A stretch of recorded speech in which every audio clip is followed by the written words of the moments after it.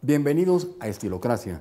Yo soy Ricardo Domínguez y les recuerdo que en este canal vamos a aprender que el estilo no es algo con lo que se nace, es algo que se aprende con el tiempo y en el camino.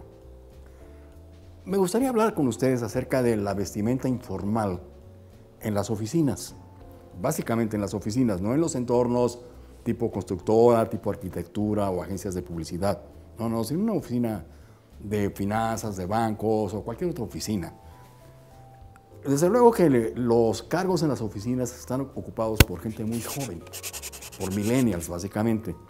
Y el problema es que los millennials no están entrenados para vestirse con traje o con saco y corbata, porque desde niños toda su vestimenta y todo su armario lo constituyeron las prendas fáciles, en donde triunfó de manera aplastante el fast fashion system y el imbatible imperio de los jeans por la vía de Zara o de H&M y por todo el grupo Inditex, que de alguna manera pues han penetrado muchísimo en la mentalidad de la gente y ahí es donde la gente en general compra la ropa para su armario.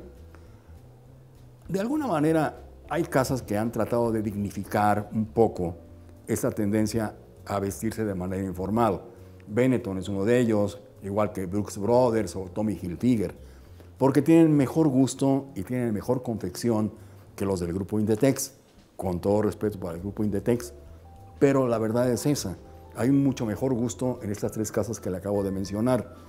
Y incluso las casas que venden a precios bajos tienen una muy buena relación y un buen equilibrio entre precio y calidad le habla usted de un Aldo Conti, de un Men's Fashion y todas las cadenas similares a estas dos que le acabo de mencionar, porque de veras tienen buena confección, tienen buen gusto, tienen de todo. ¿eh? Pero si usted se toma la molestia de revisar lo que están ofreciendo, usted tiene la posibilidad de elegir lo que mejor le guste, lo que esté más adecuado para verse bien. ¿Y por qué le digo esto? Porque en las oficinas no hay un código de vestimenta para ropa informal. Por lo menos no existe un código de vestimenta escrito. Existe un código de vestimenta meramente virtual, meramente porque existe o porque muchos van así y los que siguen simplemente imitan al primero. Pero la verdad de las cosas es que en las oficinas usted no puede vestirse como se viste el dueño de la empresa o como se viste el director general. Ellos pueden llegar de shorts, pero ellos son los dueños. Y eso no es el parámetro. Usted tiene que vestirse de acuerdo a su empleo, a su cargo y de acuerdo a el entorno laboral de usted. Usted no puede vestirse igual que el director ni igual que el dueño de la empresa. Ellos pueden vestirse como ellos quieran. Yo les sugiero que cambien los jeans, por lo menos para el trabajo. No use jeans, use chinos o kakis use un blazer o una chamarra de cuero, use camisas a rayas o cuadros, evite las camisetas en el entorno laboral y sus zapatos procure que sean estos que aquí se llaman bostonianos, pero en café o vino. Pero igual también pueden ser unos loafers o unos drivers, siempre y cuando usted los use en colores adecuados.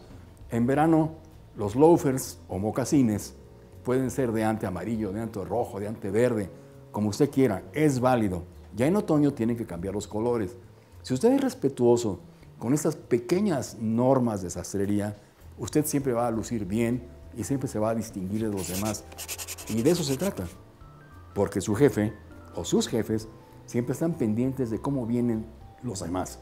Y si usted se distingue porque sabe elegir su ropa, porque sabe respetar los códigos de vestimenta, porque no viene de chanclas ni viene de shorts, usted va a ser una de las personas que ellos tienen siempre en mente para cuando tengan que ascender a alguien. Y ese alguien va a ser usted solamente por su manera de vestirse. Claro, su manera de actuar, su desempeño profesional cuenta y muchísimo, pero también cuenta muchísimo la manera en que usted se ve y la manera en que sabe respetar los códigos no escritos de vestimenta en una oficina. Yo insisto en esto porque me ha tocado pasar oficinas en viernes donde la gente va en pants. Y los pants son deportivos, los pants son para el gimnasio, no son para estar en la oficina. Créame, eso es una mala imagen y uno mismo que va a arreglar un asunto a esa oficina se siente mal de estar siendo atendido por alguien que está en pants.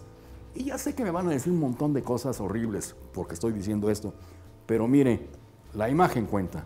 Y si no fuera cierto, no habría ni siquiera estas escuelas de imagen que hay ahora en México, dos, tres muy importantes.